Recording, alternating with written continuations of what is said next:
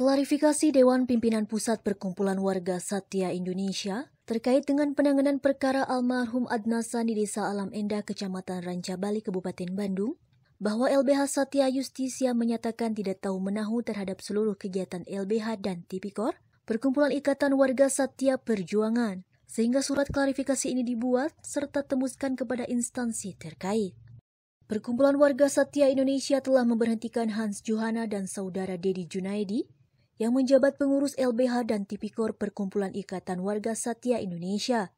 Namun telah diberhentikan dari kepengurusan LBH dan Tipikor Perkumpulan Warga Satya Indonesia sejak menerima informasi mengenai status dan kedudukan saudara Hans Johana SH dari Kejaksaan Tinggi Jawa Barat. Terkait masalah ahli waris, penanganan ahli waris, ada yang ada di Desa Alameda, Kecamatan Bartunggur. Memang terkait dulunya eh, kuasanya kepada Lembaga Bantuan Hukum Ikatan Warga Setia Indonesia. Namun setelah ke sini tanpa sepengetahuan timbul dualisme dan menjadi kuasa hukumnya yaitu dari uh, lembaga bantuan hukum Tipikor, Tipikor, IWS Perjuangan. Dulu dia adalah wakil ketua dari saya memang, tapi sekarang bukan anggota lagi dan dikarenakan orang tersebut seolah-olah mengaku-mengaku sebagai pejabat, sebagai ke kejati, integritas.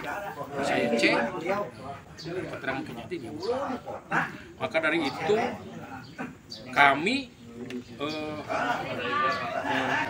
dari lomba IWS mengklarifikasi bahwa sekarang hubungan antara kuasa hukum yang lama dan yang sekarang sudah tidak ada sebut lagi. Maka dari itu segala perbuatan mereka mengatasnamakan eh, lembaga tipikor IWS Perjuangan bukan tanggung jawab kami. Dan kami adalah lembaga bantuan hukum Ikatan Warga Setia Indonesia. Dan kemudian kemarin sudah konfirmasi saya kepada ahli waris Anasan yang Sulaiman bahwa memang uh, sudah tidak ada sebut Dari Kabupaten Bandung, Jawa Barat, Tim Liputan Hadas TV mengabarkan.